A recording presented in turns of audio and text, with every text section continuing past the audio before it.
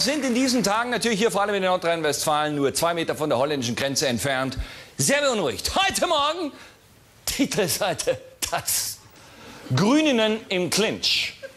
Von Ihnen aus zu Hause gesehen links, das ist Bärbel Höhn, unsere großartige Umweltministerin hier aus Nordrhein-Westfalen. Die Frau, die das alles hat kommen sehen mit BSE und Klauenseuche, die jahrelang schon gewarnt hat, aber man wollte es nicht hören. Ja. Und die Frau daneben ist die Renate. Renate Künast, die neue Powerministerin für Umwelt, Stromversorgung, Pflegeversicherung, moderne Kurzhaarschnitte und gesunde Wurstbrote. Und es ist folgendes. Beide sind in derselben Partei, aber sie man kann nicht sagen, sie gehen aufeinander los. Man kann nicht sagen, es ist diese Stutenbissigkeit wie im Büro bei Ihnen. Nein, nein, es, ist, äh, es geht um Inhalte. Es ist eine kontroverse inhaltliche Diskussion. Und zwar sagt Renate Künast, ich weiß nicht was, aber ist auch wurscht. Und zwar, man wirft vor, äh, der Bundesgrenzschutz hätte das nicht genug äh, abgesichert, sagt Bärbel Höhn an der Grenze. Dadurch hätte dieses Virus nachts verkleidet mit Rucksack reinschleichen können. Hätte man gesagt, Moment mal, sind doch ein Virus, Papiere. Aha! Und da hat schon unser Innenminister Otto Schily, früher Grün, jetzt SPD, früher Anwalt, jetzt mit Polizeiuniform, teilweise bei äh, gewissen Terminen, sagt, Bärbel Höhn sollte wirklich dankbar sein für das, was der Bundesgrenzschutz tut. Wir sind nur kleine Wähler, wir können das nicht beurteilen, aber wir sind natürlich in Angst, dass zwei so bedeutende Frauen in dieser Republik aufeinander losgehen. Denn es geht um unsere Sicherheit. Es geht um unsere Wurstbrote. Es geht um unsere Hähnchen, um unsere Steaks. An uns denkt aber keiner. Und wenn es so weitergeht, wird es nicht lange dauern und Bärbel Höhn betoniert sich vor einem Schweinestall ein. Aus Protest!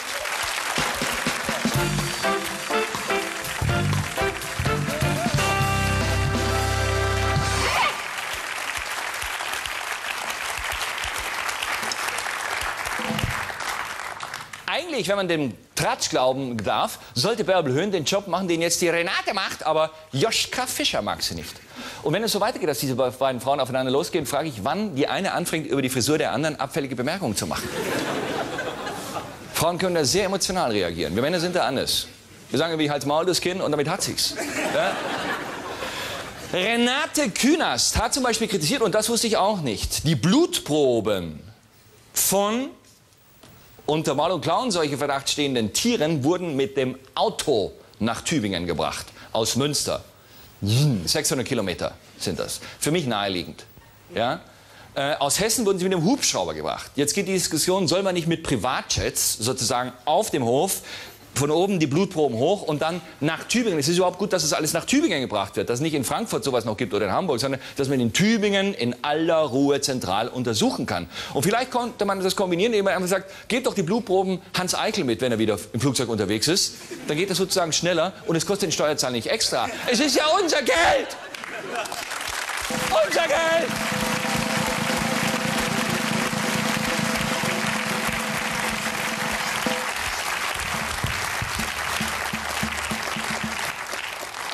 Unsere Umweltministerin, auf die wir stolz sind und die wir uns nicht kaputt reden lassen, von denen in Berlin.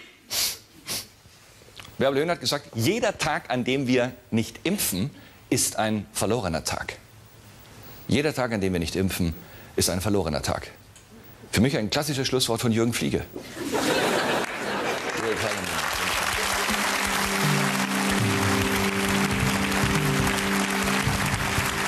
meine Damen und Herren, zwei junge, dynamische Erfolgstypen zu Gast von unserem befreundeten Erfolgssender NTV. Der Sender, der übrigens persönlich für die schlechten Börsenkurse verantwortlich ist. Wenn Sie in den letzten Tagen auch Milliarden verloren haben, gehen Sie hin, demonstrieren Sie vor NTV. NTV ist verpflichtet, Ihnen das Geld zurückzuzahlen. Ja, können Sie auf mich berufen. Die haben die. Die haben die Kohle im Keller. Ihre Kohle! Morgen ab 8 Uhr. NTV, NTV, gib die Kohle raus. Ja.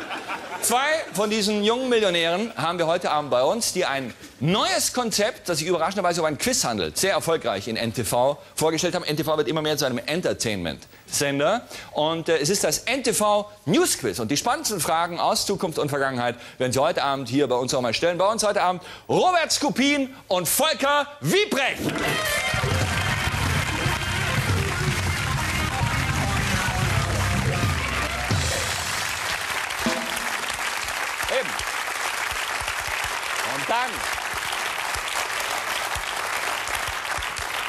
Eines der großen Idole, Boris Becker, meine Damen und Herren. Bei allem privaten Knatsch in der letzten Zeit hat er einen Mann, der sich nicht unterkriegen lässt. Er sagt, seine AOL-Spots, seine sehr gut akzeptierten AOL-Spots gehen weiter und er wird seine veränderte private Situation heute äh, in diesen neuen Spots einbringen und wir haben das für Sie bei den Dreharbeiten beobachtet. Neun AOL-Spots von Boris Becker. Und äh, wenn Sie aus Hannover sind, Gäste aus Hannover hier heute Abend? Ja, anleuchtet.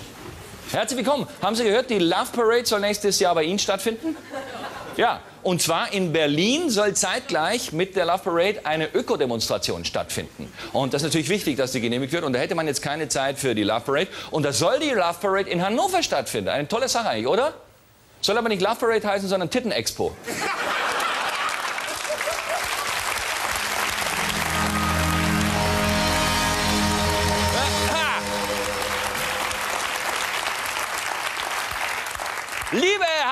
Hannoveraner, das müssen Sie schon darauf einstellen. Wenn die Love Parade nach Hannover kommt, ist Han ganz Hannover hinterher im Grunde ein türkischer Pavillon.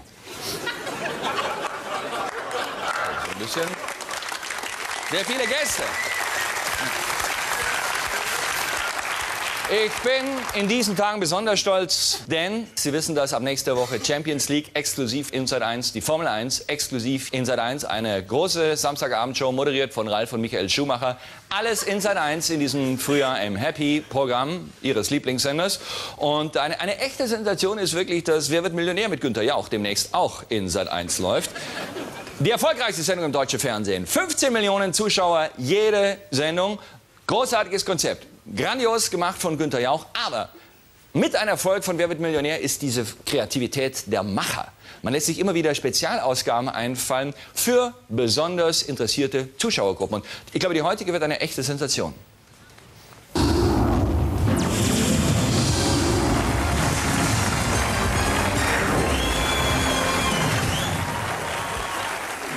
So, vor mir sitzt jetzt der Herr ähm, Drauf.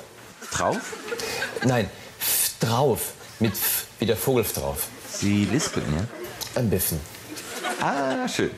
Für 32.000 Mark möchte ich jetzt das hier von Ihnen wissen. Wie macht die Schlange? Macht sie B, L oder C oder D, S? Wie macht die Flamme? Das ist schwer. Ein Joker verbraten? Nein, ich weiß das. Die Schlange macht. Also Antwort C, ja? Nein, nicht. Sicher? Ganz fest. Herr Strauf meint, die Schlange macht aber sie macht Pfeife. Ja, dumm gelaufen für Herrn Trauf, aber freuen Sie sich schon auf die nächste Folge von Wer wird Millionär für Listler? Nur bei RTL.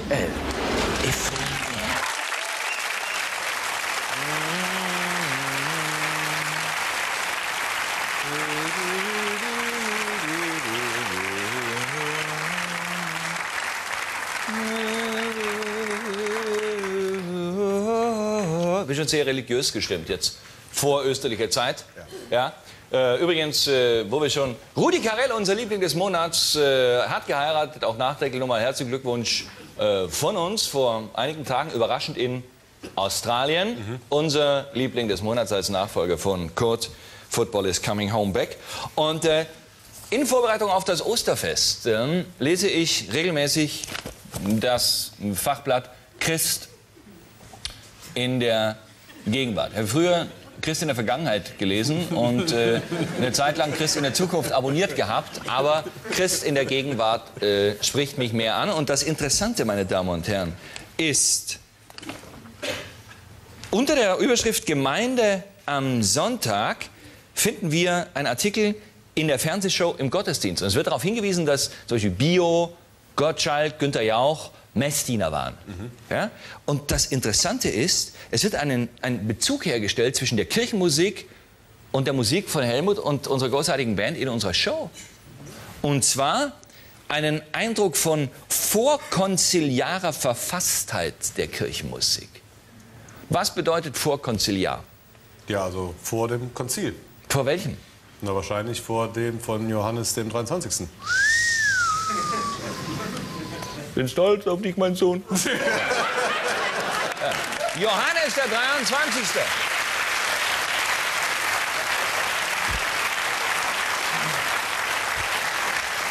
Johannes der 23. das Zweite Vatikanische Konzil. Wir Katholiken was das, wissen, was das bedeutet, oder? Ab da Gottesdienst nicht mehr in Lateinisch, sondern im Heimatdialekt. Ab da der Priester nicht mehr zum, mit dem Rücken zum Publikum die Eucharistie gefeiert, sondern mit dem Gesicht zum Publikum. War für viele gewöhnungsbedürftig, plötzlich den Priester ins Gesicht sehen zu müssen. Aber im Rahmen einer permanenten revolutionären Erneuerung natürlich ein wichtiger Schritt und äh, bis heute unübertroffen, kann man sagen. Gott sei Dank ist mir das Verb noch eingefallen. So, und zwar vorkonziliar. Das heißt ja im Grunde, mit der Art, wie wir hier Musik machen, gehen wir zurück in die gute alte Zeit, als es noch heißt Ego te absolvo. Und Helmut konnte sogar das ganze Konfitur noch auswendig. Ich konnte das mal, ja. Ja. Aber ich kann das nicht mehr. Aber es ist, war, ist schon sehr interessant, weil ich habe das auch immer so gesehen. Wirklich? Die Art, wie wir hier Musik machen. Zumal wir ja äh, quasi auch damit angefangen haben. Meine erste Musik war ja im, in der Kirche, wie ich dann so... Stimmt. Und du bist eigentlich jetzt im Älterwerden und in diesem auch Abschließen langsam mit dem irdischen Dasein den Weg hierher in die Basilika St. Mülheim gegangen. Und hier steht es. Äh, einen Eindruck von vorkonziliarer Verfasstheit der Kirchenmusik, nicht von ihrer Qualität, können wir in der Harald Schmidt Show bekommen. Die Musik in seiner Show hat absolut den Status vorkonziliarer Kirchenmusik. Ihr wird lediglich eine illustrierende, untermalende Rolle, dabei aber absolut dienende Rolle zugemessen. Hochinteressant. Selbst die kleinste Geste von Schmidt wird in vollkommener Weise mit einem Tusch garniert, vergleichbar dem vormals geheimnisvollen Schellen bei der Wandlung oder beim eucharistischen Segen. Da gibt es also nichts zu lernen. Begreife nicht den letzten Satz. Aber diese Schellen, das war dann immer bei der Wandlung, ja? Wenn der Pfarrer die Hostie gehoben hat, kling, kling. Das gab ein paar Stellen, bei der Wandlung auf jeden Und wenn er Fall. den Wein gehoben hat, den Kelch, kling, kling, wurde auch abgeschafft dann. Ja. Schade. Schade, ich fand das auch... Wollte aus Protest aus der Kirche austreten, als das Klingeln abgeschafft wurde. Ja. Aber ich bin in den Gottesdienst gegangen, wo heimlich geklingelt wurde. Pater Leppich zum Beispiel. Haben wir früher, es gab ja auch in Frankreich so, so äh, äh, Frère irgendwas, wo, wo der Gottesdienst vor Konziliar noch gefeiert wurde. Aber das Klingeln gibt es meiner Meinung nach immer noch. Das Klingeln? Ja? Nein. Wann warst du das letzte Mal in der Kirche? Drei Wochen. Ja? Und Ja. haben sie nicht geklingelt? Nein. Echt nicht? War ja offen.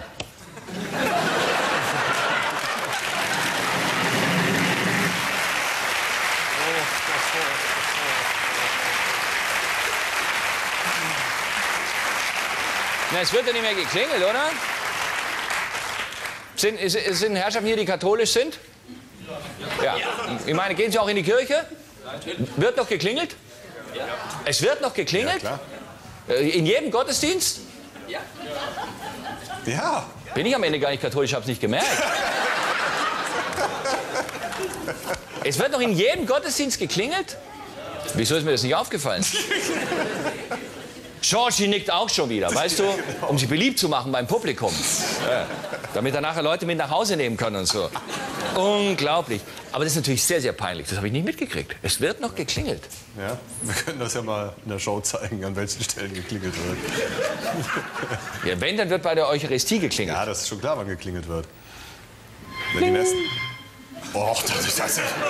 So klingt das? So nicht. Nein. Wir werden das klären. Ich werde, ich werde das, das, ist- das ist sehr peinlich. Ich werde das. Wo kommen Sie her? Hier. Rheinland-Pfalz.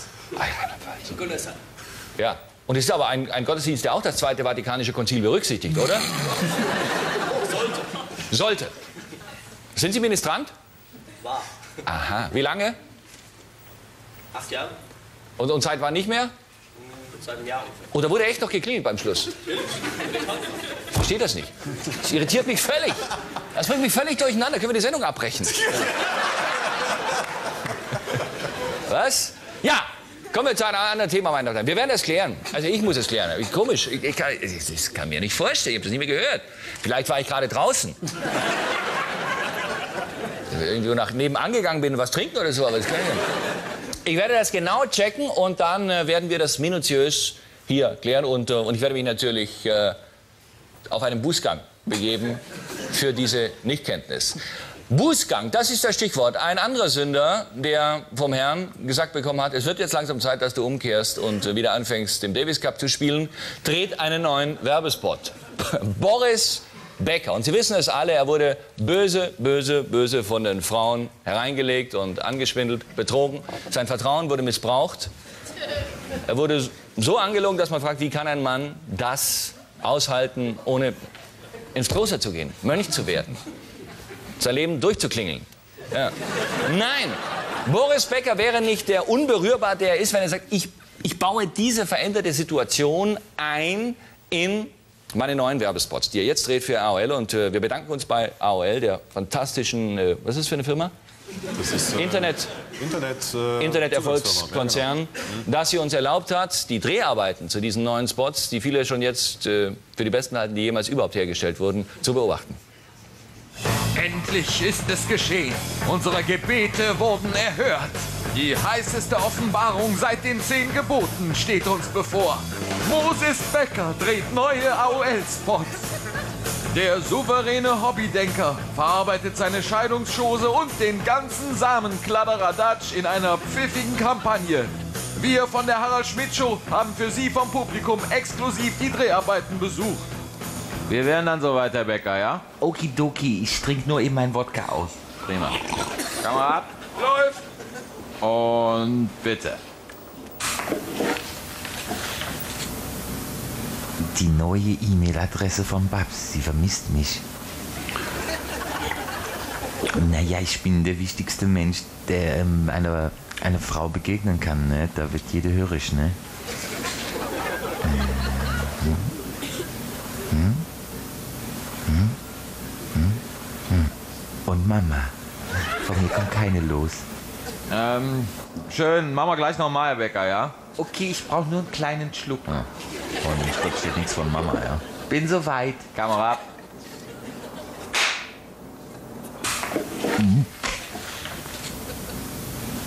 Neue Mail von IBABs interessiert mich ein Scheiß. Meine Mutter hat mich immer gewarnt vor dummen, gierigen Frauen. Dumm und gierig bist du selbst, hat sie gesagt, ja. Ja, super, Herr Becker, aber wir unterbrechen mal kurz. Das war noch nicht so. Hm, Ich hätte gern noch Wodka, ja?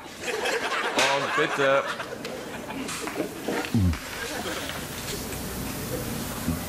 Warum wollt die Perle in der Wäschekammer nicht schlucken? Herr Becker, das ist doch scheiße. Komisch, die Weiber, ne? Müssen immer so zicken. Dabei schmeckt meins bestimmt prima. Saftcremig oder bisschen süß-sauer, ne? Muss ich echt noch probieren. Okay, danke, Herr äh, machen wir mal hier Schluss besser, ja? Nee, auf keinen Fall. Die Menschen haben ein Recht, auf die Wahrheit zu erfahren, ne?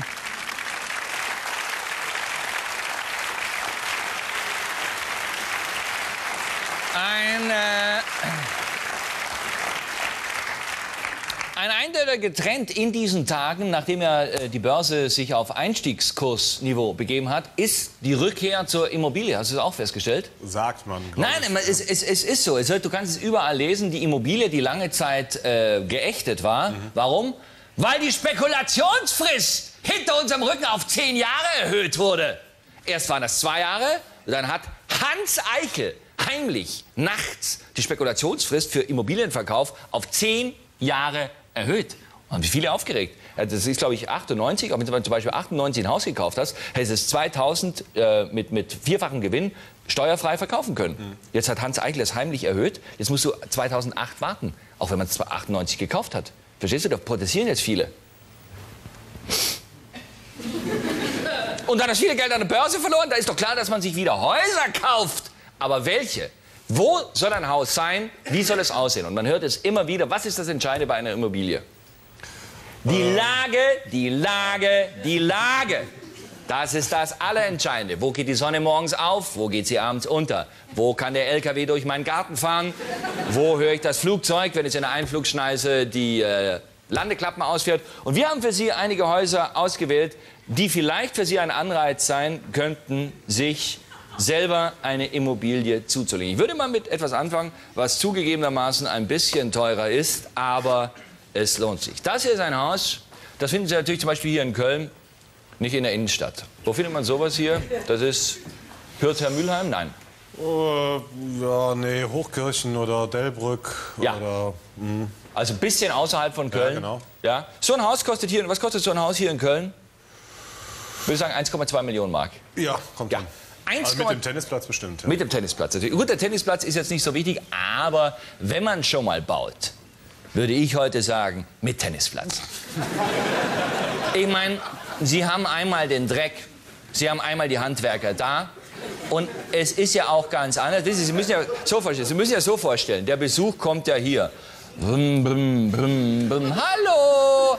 Kommt rein, kommt rein, dann stehen Sie also hier so mit Ihren Hausschuhen. Im, in, in der, die Tür gefällt mir übrigens sehr, sehr gut. Das ist, sind fast meine Lieblingstüren. Das sind, das sind Kunststofftüren, die aber aussehen wie Holz. Lassen sich da nicht die teuren echten Holztüren einquatschen. Ja? Die verwittern, die dehnen sich. Holz arbeitet. Kunststoff hat noch nie gearbeitet. Ja? Kunststoff bleibt so, wie er drin ist. Das sieht keiner. Das sieht keiner. Das sind diese Türen. Und stell dir vor, und dann, dann geht man hier rein. Ja? Und, und sie sagen, ach, lass doch die Schuhe an. Nein, komm, wir bringen den ganzen Dreck mit rein und so weiter. Und dann gehen die, der Besuch raus und dann, ja, das habt ihr uns ja gar nicht gesagt, dass ihr einen Tennisplatz habt. Ja, wir wollten erst nicht und so, aber dann ist der Onkel Heinz gestorben und so weiter. Und, äh, ja. ja, man muss ja das Geld irgendwo anlegen. Und das ist hier ein Haus, würde ich sagen, 1,2 Millionen Mark. Hier mit Partyzelt, das ist ganz wichtig. Partyzelt und auch, guck mal, das zeige ich mal hier, das sind auch so wirklich sehr, sehr schöne Gartenmöbel. Bei Gartenmöbel würde ich sagen, investieren Sie ins Haus richtig. Bei den Gartenmöbeln muss man nicht viel ausgeben. Die kann man sich im, im, im Baumarkt irgendwo mitnehmen. So Plastikmöbel, die nach zwei Wochen schon ein bisschen äh, versifft oder so aussehen, ist wurscht, aber man sitzt ja nur drauf, man sieht es nicht und so weiter. Und, und dieses Partyzelt ist ganz wichtig. Das hat natürlich, müssen Sie wissen, nach dem ersten Sommer hier oben braune Flecken. Das schifft so ein an den Rändern. Ja. Ich, ich muss natürlich eins sagen, ich bin ein großer, weiß ich mache ja jede Woche eine Party bei mir zu Hause. Ja. Ich, also bei mir sind ja Gä- Gäste, das ist ja, mein Haus ist ja ein einziges Gästezimmer. Und äh, ich muss ehrlich sagen, diese Zelte können Menschen dazu verführen, dass sie sich aufhängen im neuen Haus. Ja, nicht im Zelt, aber im Haus, wenn, wenn du bei schlechtem Wetter in dieses Zelt rausguckst. Es sieht absolut depressiv aus. Es hängt, es hängt wirklich so schon wie erektile Dysfunktion in, in den Seilen. Hier oben drin sammelt sich das Rebenwasser an und Sie sehen dann, wenn Sie es genau sehen, sehen Sie meistens irgendeinen in so einem, in so einem Trainingsanzug mit einem Besen von unten echt, das Wasser weg. Also, ein tolles Haus. Das hier, das hier ist natürlich fantastisch. Das ist schon was ganz Tolles. Das kostet ein bisschen extra, aber es ist es wert, dieses Hacienda-artige. Hier. Hier, hier daneben, neben dem Fenster. Das hier. Das sieht natürlich die Mülltonne. Die stimmen aber nicht hier hin, oder? Ja, die ist schon vor der Tür. Die, die ist natürlich draußen vor der Tür. Vielleicht sollte man um die Mülltonne was rumbauen. Das habe ich jetzt häufiger gesehen. Ich finde Mülltonne, also wie viel hat man? Drei heutzutage. Du hast drei Mülltonnen? Jetzt Sag mir, wie viel ich habe. Ich soll jetzt raten, oder was? Ja, nein, sag mir doch. Du weißt ja, dass ich vorschriftsmäßig mich verhalte. Wie viele Mülltonnen habe ich? Ich habe mich verzählt heute Morgen. Das Klingeln aus der Kirche hat mich so gestört dabei. Wie viele Mülltonnen habe ich? Ja, also ich habe eine. Also hast, wenn du drei hast, also... Ja, wieso eine? Wirfst du, wirfst du alles in... Äh, gut, du bringst jetzt den großen Müll hierher mit in die Sendung und wirfst ihn hier unten. Aber du brauchst, doch- du brauchst eine Biotonne und, und normal, oder nicht? Bei uns im Viertel gibt es keine Biotonne. Bei euch im Viertel gibt es keine Biotonne. Nee. Ist, das, ist das erlaubt? Wieso muss ich da eine Biotonne haben? Ja, das ist von Viertel zu Viertel unterschiedlich. Es gibt auch Viertel, da wird der Sperrmüll automatisch immer abgeholt, alle zwei Wochen. Was ist, das- wirklich so? Ja, das ist wirklich so. Das kommt auf die Bezirke an in Köln. Ja? Ja. Und du, du brauchst keine... Und dein Ja, du Sperrmüll bist wird- ein besser verdienender Bezirk bei dir. Nein, überhaupt nicht. Ich bin Hast so, du auch noch eine Papiertonne? Nee, nee, Papiertonne habe ich keine. Ah, Papiertonne. da eine gelbe Tonne dann. Nee, eine braune und eine, eine, äh, eine graue. 20 Liter jeweils. Ach so, 20. Georgie! Hier! Der führt einen, Georgie führt einen, einen schlimmen Müllkrieg ja, in seinem Heimatort, weil er wäre bereit, eine größere Tonne zu bezahlen. Ja. Aber wenn man ihm erlaubt, stimmt es, Georgie, eine kleinere dafür hinzustellen, er sagt, okay, ich zahle die große, ich brauche nur die kleine. Ich sehe es aber ein, ich unterstütze diesen Staat, ich zahle die große. Nein! Man will ihm zwingen, eine große hinzustellen. Schlimm. Okay, aber wir sind keine Kommunisten und wir akzeptieren das und stellen die große hin. Dieses Haus, muss ich sagen, dieses Haus hier, 1,2 Millionen Mark, würde ich sagen, mit einem Nettoeinkommen von 2,8, 2,9 durchaus finanzierbar. Zahlen 50 Jahre ab, kein Urlaub. Kinder fahren drei Stunden in die Schule mit dem Bus jeden Tag, weil ein bisschen außerhalb wohnen. Aber man wird sie natürlich beneiden und es lohnt sich. Denn das kann ihnen keiner mehr nehmen. Außer die Bank. Natürlich. Und ihnen darf natürlich nichts passieren und, und die Frau darf nicht abhauen und so weiter. Das sind natürlich Fälle, gut, da steckt keiner drin. Aber ich würde sagen, 100 Prozent, 1 Prozent Tilgung, vielleicht die ersten 30 Jahre überhaupt tilgungsfrei. Abzahlen, 1,2 Millionen aufnehmen, 6 Prozent sind äh, 72, äh, 720, 72.000, 1 Prozent von 1,2 Millionen sind, äh, sind äh, 12.000 Mark. 72.000 Mark im Monat durch 12 sind 72.000 im Jahr, 6.000 pro Monat. pro Monat. Müssen Sie halt noch irgendwo her ein bisschen. Ähm, muss die Frau arbeiten gehen. Ja. Muss die Frau arbeiten gehen. So.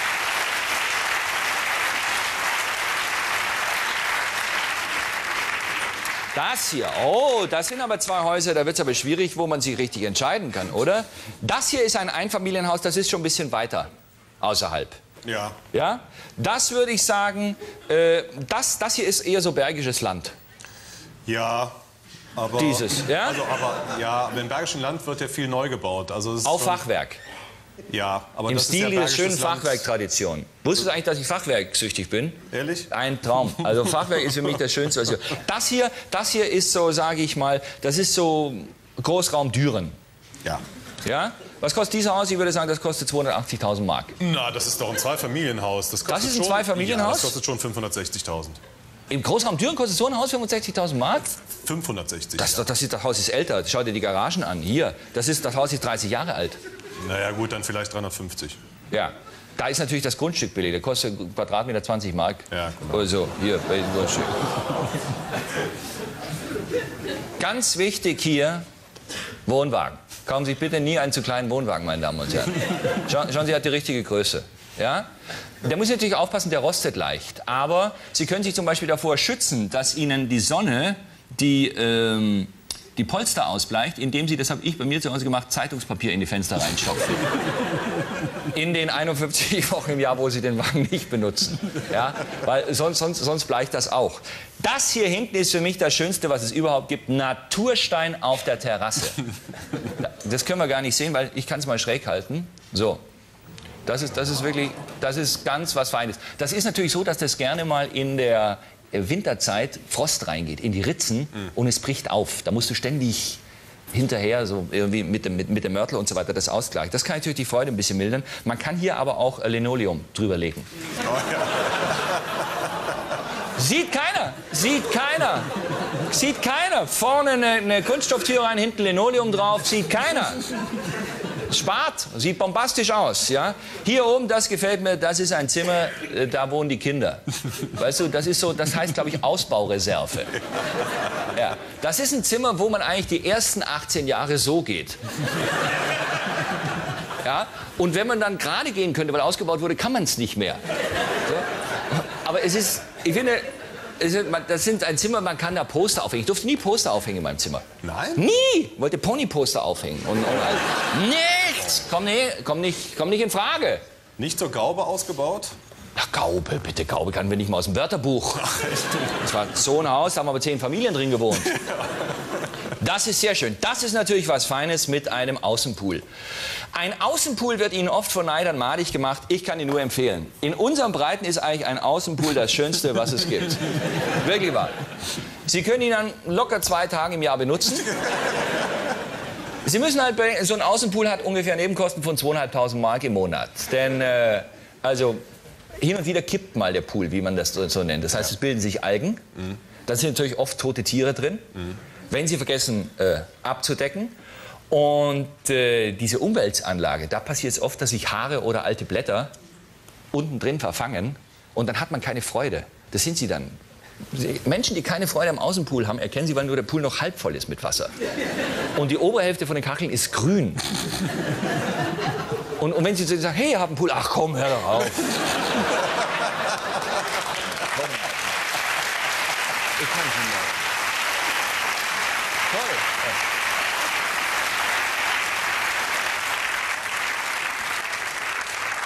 Das hier, das hier ist eigentlich ideal, würde ich sagen, für junge Familien. Ja. Oder? Ja. Was kostet so ein Reihenhaus hier? Das, das hat schon im Näher an Köln dran. Das hat schon Das ist schon Kerpen-Sindorf. Ja, ja, das ist Kerpen-Sindorf, auch Müngersdorf schon, außerhalb von diesem Psycho-Viertel im Ja, Müngersdorf. das ist eher Weiden oder so. Ja, so Löwenich. ja. Löwenich Was kostet draußen. sowas in Köln, so ein Reihenhaus? Ja, da muss man schon auch 400.000 zahlen. Viel teurer, Ja? wette ich. Also reine Neubaugebiete? Bitte? Nach dem Motto, gucken Sie mal, Musterhaus. Das Ja, Lorenz Rinn, also wo im, im, im, im Dialekt geworben wird in den Immobilienanzeigen. Das spricht, glaube ich, für besondere Seriosität. Lorenz Rinn, wir sind da. Sonntag 12 bis 14 Uhr. Meine Lieblingsannonce ist, Pechvögel lernen uns zu spät kennen. Nur noch ein Haus frei.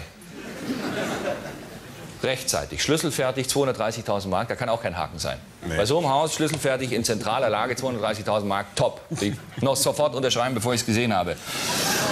Das Tolle hier ist, das sind natürlich Häuser, die erfordern eine gewisse psychische Stabilität, weil man wohnt sehr, sehr nahe auf der Nachbarn, was natürlich das Schöne ist. Man kennt sie, man hat Vertrauen.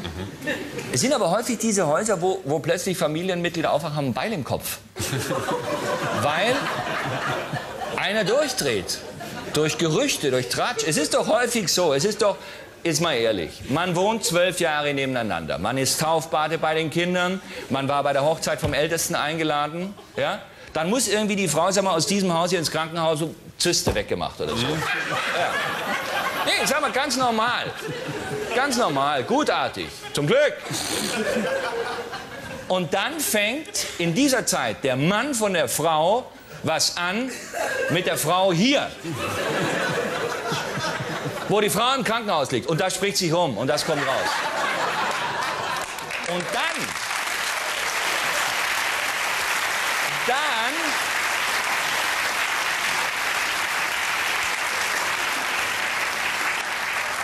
Diese haben sich eigentlich immer rausgehalten. Diese Leute hier, die kamen vor, vor zehn Jahren aus Polen und haben ganz. Moment. Entschuldige mal. Entschuldige mal, grundanständige, fleißige Leute, die sich hoch, ganz, ganz bescheidene Leute mit drei Kindern, die sich hochgearbeitet haben. Und plötzlich schreit man sich von hier nach darüber, obwohl sie mit Zyste im Krankenhaus lag.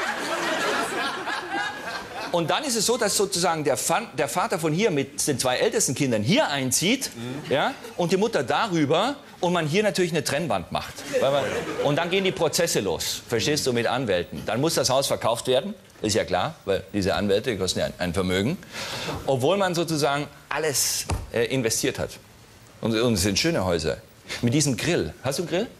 Äh, ja, aber so für 5 Mark aus dem Kodi. Das, du, sollst ja wirklich mal, du, du sollst ja wirklich mal einen schönen Grill kaufen. Also Nee, Grill, das du, ein nicht. Grill, für mich ist ein Grill das... das Ah, du hast doch wie? auch keinen Grill. Ich habe einen Grill. Du hast einen Grill? Ich habe so einen Grill hier.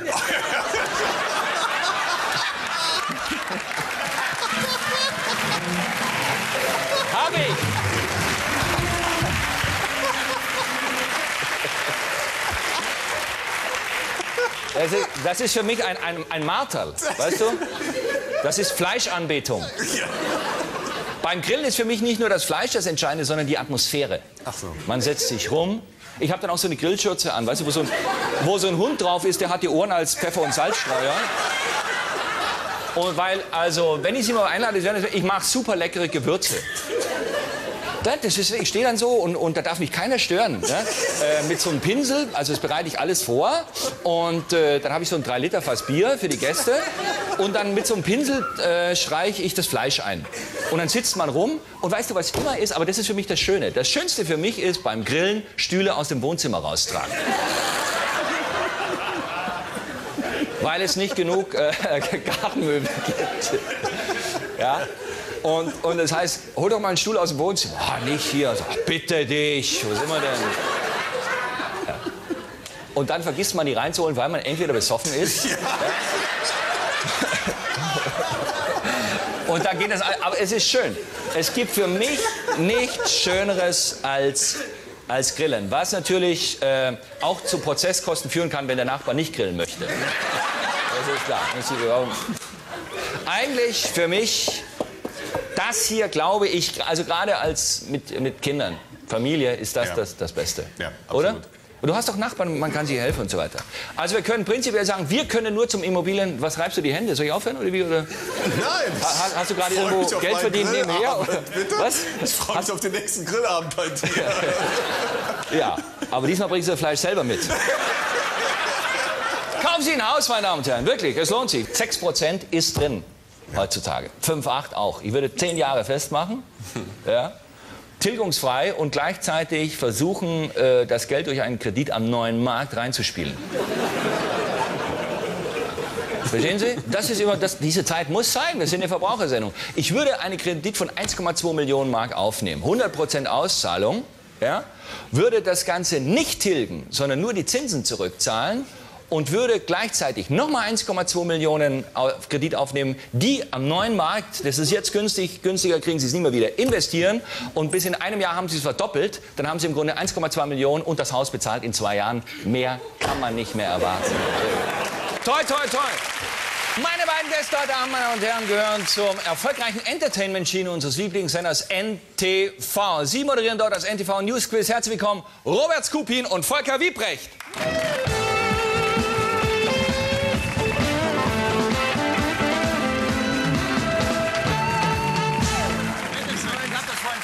Gesagt. Ja, Ich habe gesagt Börsenquiz. ja. Quatsch, es ist das News Quiz. Wenn wir Börsenquiz machen würden, müsste er es alleine machen, weil er ist der Einzige, der Ahnung von Börse hat. Er hat mich im letzten Jahr beraten und gesagt, Nordasia, komm, 130 Euro, das ist es. Wissen Sie, wo Nordasia.com jetzt steht? 27 Euro. Danke, Robert. Bravo. Was ist das denn? Ist das eine, eine Telefonfirma oder was? Nee, Nordasia ist ein, ähm, ist ein Fonds. Oh, ein Fonds. Fonds. Ja. Fonds sind ja Deshalb kann, sicher. Deshalb kann ich ja nichts dafür. Es gibt ja einen Fondsmanager in dem Falle. Ja, Volker Kuhnwald. Ja, guter Mann. Ja, Einen hat man doch offensichtlich, jetzt- ne? Ein, Auch noch persönlich. ein, einen Superstar hat man doch jetzt gerade rausgeschmissen. Ein, ein Fondsmanager, glaube ich, bei Julius Bär. Ja, der hat 70 Prozent Miese gehabt, glaube ich Hm, jetzt. ja, ne? das ist negativ interpretiert. Er hatte eine schlechte Phase, glaube ich. Ich, ich, ich, kann, ich, ich kann es nicht beurteilen, aber Also meine Oma hätte ihn mit ihren Sparbucheinlagen geschlagen im letzten Jahr. muss man leider so sagen. Aber es gab natürlich auch die Phasen, wo man gut verdienen konnte. Nur, man weiß es immer vorher Ja, nicht. das war bei der Zeit, bevor Robert mich beraten, äh, beraten hat. Also Ja. Da, da war Geld noch zu Und jetzt Schnauze voll vom Börse. Das geht ja eigentlich nicht bei NTV, Na, es gibt oder? immer noch so ein paar Geheimtipps. Also beispielsweise die Kameramänner von NTV, die zocken auch alle wie blöd. Also Ja. die kommen dann am Samstagsabends hin und sagen, ey, Open Market, das ist es, das ist es. Und ich kaufe es. Ich bin so blöd. Was ist Open Market? Auch eine Firma? Ich oder? habe keine Ahnung, ich kaufe das immer nur. Ja. Also er, er hat es ja gleich gekauft. Ich habe mich erstmal informiert und habe es dann auch gekauft. Aber am ersten Tag ist 700 Euro hochgegangen. Ich sage, Robert, das war mal ein richtig guter Tipp. Ja, ja, aber warum da nicht raus? Das ist die Gier. Ja. Dann, wenn es um 700 Euro an einem Tag hochgeht, weg und, und äh, den Gewinn versteuern. Nee, da muss man raus. Ich denke, Gewinne von 50 Prozent sind eine Selbstverständlichkeit an der Börse. Nee. Nee, Gewinne muss man laufen lassen. Ja, da gibt's alles. Nie in ein Falle des Messergreifer ja. und so weiter. Kann man das äh, für Menschen, die es noch nicht gesehen haben, für die wenigen erklären, wie, wie, wie funktioniert das Newsquiz? Eigentlich relativ einfach. Es gibt äh, kleine Einspielfilmchen, die sich mit den Ereignissen der Woche beschäftigen. Ja. Und wir stellen dazu Fragen. Und die Leute können anrufen. Aha. Anrufen. Call-In-Sendung. Also Interaktion. Verstehe. Sehr das heißt, das. Geld wird mit den Telefonanrufen verdient seitens des Senders. Nee, das macht, glaube ich, die Telekom. Und die Telekom hat wieder so einen Knebelvertrag mit NTV. Kurse. Knebelvertrag. Das hören die Juristen Deshalb gerne. haben wir wieder Knebelvertrag. Telekom Hören Sie mal, der hat gestern Abend bei Schmidt gesagt, Knebelvertrag. Ja? Wenn das nochmal vorkommt, dann stornieren wir Werbung im Wert von 30 Mark. Geht das so schnell? Ja, ja. So schnell? Ja, ja, ja, ja, da stornieren wir Werbung. Ja, die sind sehr nervös. Also nicht Telekom, aber generell. Können wir, können wir das mal spielen? Test äh, Ja. halber? Also wir haben natürlich unser professionelles Equipment nicht mit. Also wir haben noch einen Gong und Ja. Zettel und so. Das haben wir alles zu Hause gelassen. Es gibt auch was zu gewinnen. Ja. Nämlich, Hast du die Lexika eigentlich mit? Es gibt Lexika zu gewinnen. Ja, es gibt Lexika Brockhaus. im Wert von bis zu 5000 Mark. Kann man sich das auch zahlen lassen, wenn man zum Beispiel schon ein Lexikon hat? Das ist, das ist schwierig, aber man kann dann beispielsweise darauf verzichten, das Porto selbst zu zahlen. Das wäre ein Entgegenkommen von Aha. unserer Seite von NTV. So richtig- Aber es geht ja darum, dass Brockhaus auch die Lexika äh, Ja. los... Äh, also, Brockhaus. Ja, Brockhaus. Brockhaus. Brockhaus. Brockhaus. Ma- Machen wir mal eine Runde? Wir können, Ja, wir können. Ist es ja. aktuell? Das ist noch nicht gelaufen. Ja, ne? es ist in der letzten Woche gelaufen. Ah. Es gibt auch so ein paar Spezialfragen. Also es gibt eine Rubrik, wer hat's gesagt, kann man eigentlich immer dann gut in Erfahrung bringen, wenn man NTV geguckt hat. Ja. Die ist ja unglaublich, was man so da für Da Zitate seid ihr auch wirklich ganz weit vorne, muss ich sagen, als Newsbreaker. Ja. Das ist schon ein Kompliment. Also, wer hat's gesagt? Folgendes. Zitat. Ja? Vor diesem Hintergrund kann ich jeden Beteiligten nur darum bitten, spekulative, von Verdacht von Parteipolitik genährte Polemik zu unterlassen. War das ein Machtwort des Kanzlers, also in dem Falle Herr Schröder, oder ein Machtwort des Oppositionsführers, in dem Falle Friedrich Merz, oder ein Machtwort des Verteidigungsministers, also Rudolf Scharping? Ich glaube, es war der Bundeskanzler. Der Bundeskanzler. Ja. Warum? Warum? Also ich glaube, mich erinnern zu können, dass ich dachte, das ist aber doch sehr verklausuliert. Ja. Ähm, Also jetzt kämen die Stellen in unserer Sendung, wo wir sagen könnten, sicher? ja, ich bin mir da ziemlich sicher. Kein Joker? Nee. Auflösung. Gut, dann gucken wir nach. Wer war's? Vor diesem Hintergrund kann ich jeden Beteiligten nur darum bitten, spekulative, von Verdacht oder Parteipolitik oder anderem genährte Polemik einfach zu unterlassen. Die Streichung bei der Schade. Bundeswehr, So. weniger Also. Geld da. Und in der Sendung ging es jetzt weiter mit, ja tschüss, ruf doch nächstes Mal wieder an. Achso, damit ist man weg. Ja. Wenn man es weiß, kommt man weiter? Kommt man weiter. Dann kommt man weiter. Oder man Wie viel muss man wissen, um das Lexikon Man zu muss drei gewinnen? Punkte machen in der Vorqualifizierung, dann spielt man im Halbfinale gegeneinander zwei Leute und Ja. dann gibt es eine Frage für den Gewinner und da ist auch schon so mancher mit einer hohen Telefonrechnung ohne einen Gewinn nach Hause gegangen. ne? NTV. Ja, gibt es noch eine Frage? Ja, ne, gerne, sicher. Also Zitat, äh, der Minister ist Minister und bleibt Minister. Antworten von Gerhard Schröder, ein Zitat meine ich, oder Retzo Schlauch. Der Minister ist Minister und bleibt Minister. Das ist wirklich das Retzo nicht- Schlauch. Das Retzo Schlauch. Ja. Sicher? Sicher? Ja. Kein Joker? Nein. Gut, gucken wir mal. Der Minister ist Minister und bleibt Minister. Punkt. Herzlichen Glückwunsch, Herr Schmidt. Bravo. Danke!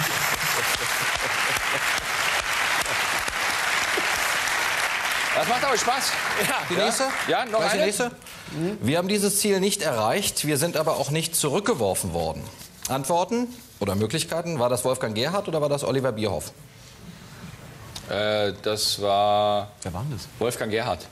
Sicher? Ich glaube, es bezog sich auf die Wahlen in Rheinland-Pfalz und in Baden-Württemberg. Ganz sicher? Ja. Ja? Der lässt sich nicht nervös machen. Wir gucken nach.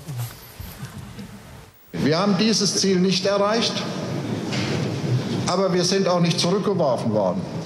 Ja. Aber es ist ein schöner Satz. Ja, man weiß nicht so genau, was er damit meint. Ich meine, das verstehe ich bei dem Mann sowieso nicht. Das Einzige, was ich immer höre, ich will weg hier vor der Kamera. Ich möchte eigentlich zurücktreten. Das, Wirklich? Das, höre ich, das ist das, was ich immer höre. Das sagt er. Ja. Das ist das, was ich höre. Mhm. Noch ein bisschen weiter so in der Ihr Art. Die, das Brutale ist, die Zeit ist äh, naht sich dem Ende. Das- ja, also soll heißen... Wir müssen langsam zum Ende kommen. Eine, eine finale Frage noch. Na, Wir sind bei NTV aber ein bisschen lockerer. Ja, Wirklich wahr? Ja, wir können noch nahtlos über- Ist das wahr? Ja, es Ach, da gibt es nicht diesen mörderischen Druck oder was? Nee, es gibt auch Nein. keinen Quotendruck. Es gibt Tro- Quotendruck schon lange nicht mehr. Also wir sind von vornherein ganz locker auf Sendung gegangen. Und ihr könnt so lange machen, wie ihr wollt? Ja, Das ist ja beneidenswert. also ich meine, man merkt natürlich, ihr kennt euch schon ewig, schon gemeinsam Radio gemacht und so weiter, gemeinsame Firma. Das äh, stabilisiert natürlich gegenüber einem Sender, oder? Gegen den Sender ja, innerhalb der Beziehung keineswegs. Wirklich? Ja. ja, eine Frage noch? Ja, wollen wir die, wollen wir die alles entscheidende Frage Ja, okay, machen? Also ja. ja, du hast jetzt zwei, sind wir bei du oder beim Sie? Wir sind per Du. Na gut. Du hast jetzt zwei geht Punkte ja gemacht und bist jetzt im Halbfinale. Du hast Ja. jetzt keinen Gegenkandidaten. Jetzt kommen wir zum Land der Woche. Das Land der Woche, wo gehen 18.000 Tonnen deutsches Rindfleisch hin? Nach diese Woche nach Äh, Korea? Ja, Nordkorea. Nord oder Süd? Richtig. Nordkorea, er hat mir das gerade gesagt. Ja. Okay, nochmal was ganz schnell, sind ganz viele Fragen, ganz Ja? schnell beantworten. Ja? Wie ist der offizielle Staatsname von Nordkorea? Äh, weiß ich nicht.